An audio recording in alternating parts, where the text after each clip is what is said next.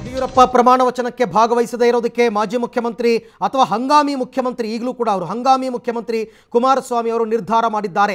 ಈಗಷ್ಟೇ ಕರೆ ಕೊಟ್ಟರು ಬಿ ಎಸ್ ಯಡಿಯೂರಪ್ಪನವರು, ಮಾಜಿ ಮುಖ್ಯಮಂತ್ರಿ ಕುಮಾರಸ್ವಾಮಿ ಅವರು ಮತ್ತು ಸಿ ಎಲ್ ಪಿ ಲೀಡರ್ ಸಿದ್ದರಾಮಯ್ಯನವರು ಬರಬೇಕು ಇವತ್ತಿನ ಸಮಾರಂಭಕ್ಕೆ. ಅವರಿಗೆ ನಾನು ಪತ್ರವನ್ನು ಬರಿತೀನಿ, ದೂರವಾಣಿ ಕರೆ ಮುಖಾಂತರನೂ ಕೂಡ ಅವರಿಗೆ ನಾನು ಮಾತನಾಡ್ತೀನಿ ಅಂತ.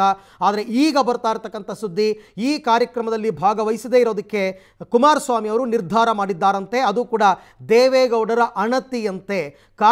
ಕಾರಣಗಳೇನೇನು ಅಂತಕ್ಕಂಥದ್ದನ್ನು ತಾವೆಲ್ಲರೂ ಕೂಡ ತಾವು ತಾವೇ ಮನಸ್ಸಲ್ಲಿ ವಿಶ್ಲೇಷಣೆಯನ್ನು ಮಾಡ್ಕೊಳ್ಬಹುದು. ಯಾಕೆಂದರೆ ಇದನ್ನು ಒಂದು ಕಾರಣ ಪರ್ಟಿಕ್ಯುಲರ್ ಅಂತ ಹೇಳೋದಕ್ಕಾಗೋದಿಲ್ಲ.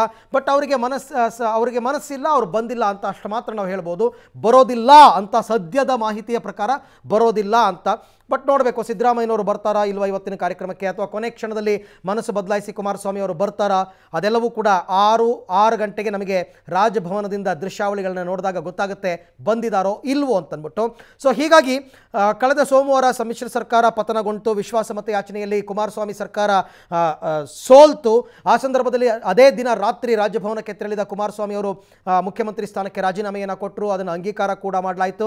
ಅದಾದ ಮರುದಿನವೇ ಯಡಿಯೂರಪ್ಪನವರು ಮುಖ್ಯಮಂತ್ರಿಯಾಗಿ ಪ್ರಮಾಣ ವಚನ ಸ್ವೀಕಾರ ಮಾಡ್ತಾರೆ ಅಂತ ಹೇಳಲಾಗ್ತಾ ಇದ್ರು ಕೂಡ ಹೈಕಮಾಂಡ್ನಿಂದ ಯಾವುದೇ ಸಲಹೆ ಸೂಚನೆಗಳು ಬರಲಿಲ್ಲ. ಆತುರ ಪಡಬೇಡಿ. ನಾವು ಹೇಳುವ ತನಕವೂ ಕೂಡ ಸುಮ್ಮನಿರಿ ಅಂತ ಒಂದು ಸಿಗ್ನಲ್ ಸಿಕ್ತು ಅವರಿಗೆ. ಅಲ್ಲಿಗೆ ಅದು ರೆಡ್ ಸಿಗ್ನಲ್. ಮಂಗಳವಾರ ಸಿಕ್ಕಿದ್ದು ಅವರಿಗೆ ರೆಡ್ ಸಿಗ್ನಲ್.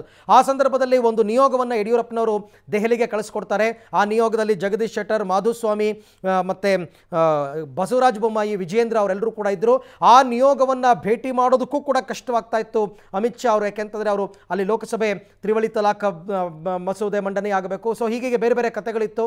ಎರಡು ಸಾರ್ತಿ ಮೀಟ್ ಮಾಡಿದ್ರು ನಿನ್ನೆ, ಎರಡು ಸಾರ್ತಿ ಮೀಟ್ ಮಾಡಿದ್ರು ಕೂಡ ಅಂತಿಮ ನಿರ್ಧಾರಕ್ಕೆ ಬರೋಕ್ಕಾಗಲಿಲ್ಲ.